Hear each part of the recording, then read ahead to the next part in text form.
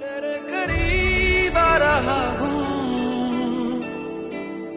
खुद से मैं दूर जा रहा हूँ। ये बेवजह तो नहीं है तू जो मेरा। धीरे धीरे से तेरा हुआ। हाल हाल से तेरा